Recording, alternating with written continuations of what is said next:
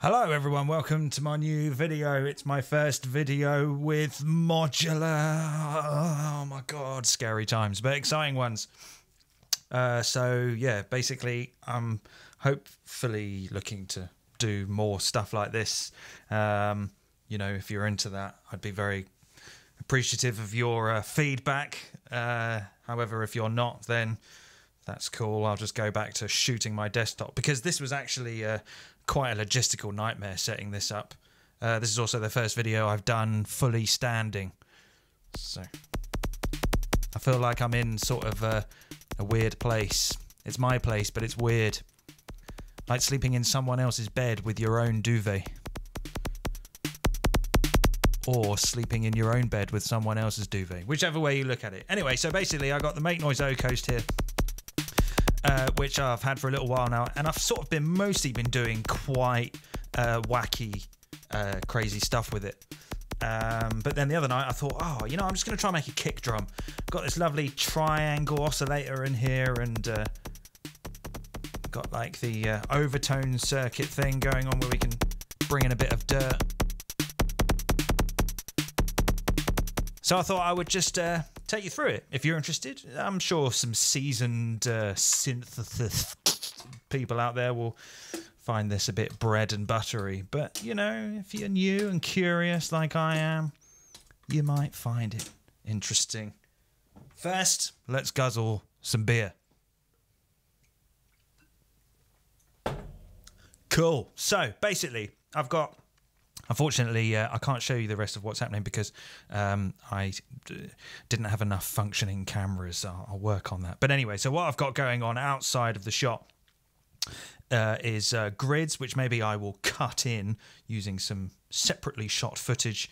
Uh, creating the pattern, the snare is um, uh, coming from braids, and uh, the hi hat is a uh, thing I made on the Mother 32, which is uh, uh, what is it? It's um, it's basically some really savage pitch uh, modulation uh, with a little bit of noise being bled in. And then the kick is uh, on the O. So, whoops. So with just the gate uh, plugged in with uh, this setup, you get something a bit kicky, but it's not quite enough. So um, basically, what we're going to do is we're going to take advantage of the contour uh, and the slope. The contour will obviously give us our amplitude, uh, and the slope will give us our sort of pitch modulation. So uh, I'm going to try and self patch this as much as possible and not rely on too many other modules. Uh, so let's take the oh, gate going in. Let's come out of the E end of. Uh, I'm not sure what the end means. End of. End of uh, into the trigger on this on the slope, and then let's come out of the slope to start with uh, into the volt per octave on the oscillator now, that will give us a bit of a kick.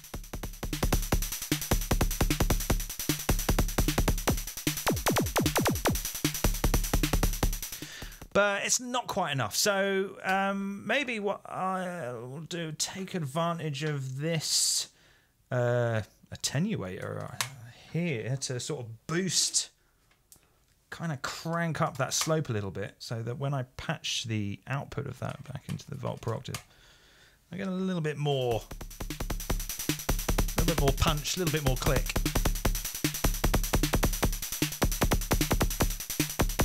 So obviously I've got uh, the sort of exponential curves up quite high on both of them. Uh, and the uh, decay and uh, in this case the fall down fairly low or fast I guess you could say to give us that kick kick zap I don't want the fall to be too high because then it starts to sound a bit zappy. Which is a bit comedy in the context of a kick. So we'll put it somewhere around about here.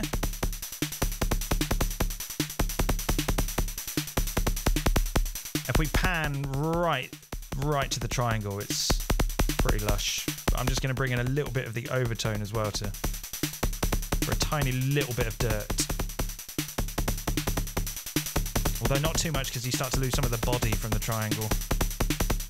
Cool, and then I'm going to take the... Uh, just sort of stumbled on these guys recently. Um, so it turns out that the sort of dynamics out is also kind of a bit of a, a low pass gate thing. I, I, think I'm not entirely sure. I'd really like it if someone could confirm that. But I'm going to take the trigger out of the contour, patch that into the dynamic, and then we can kind of uh, kill the dynamic using the contour, which um, gives it a very nice. Uh, Nice bit of timbre for a kick drum, I think. We back that off a bit. Bring it back up. It's really nice.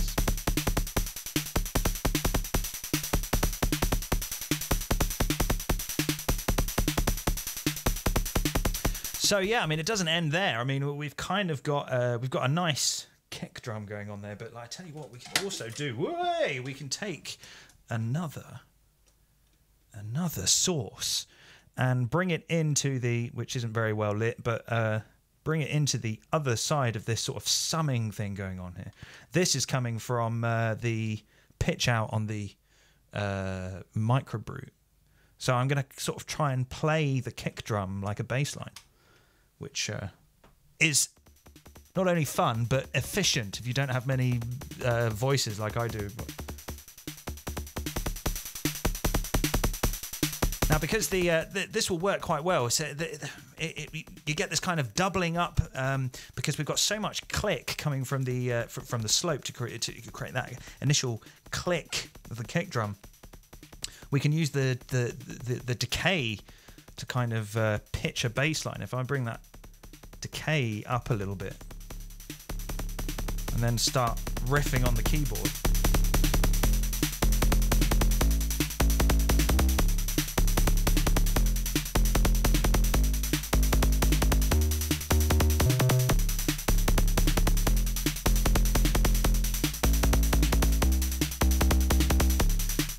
So the pattern, I don't know if I mentioned, but the pattern's coming from grids, mutables grids, which I just got the other day, which uh, is really great. Um, that's basically where the triggers are coming from. So I'll just turn that up, get a bit more funky on the bass.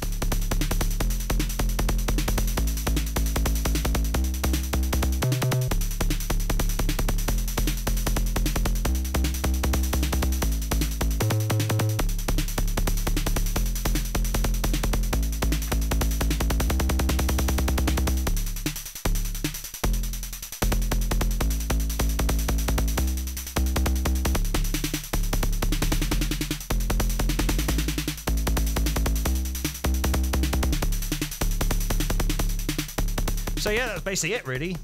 That was kind of all I really wanted to talk about. Um, yeah, I mean, we could bring in a bit of the overtone here to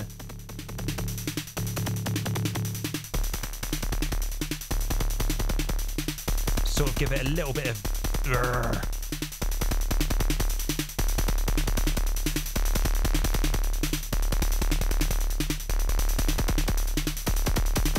bit more hardcore.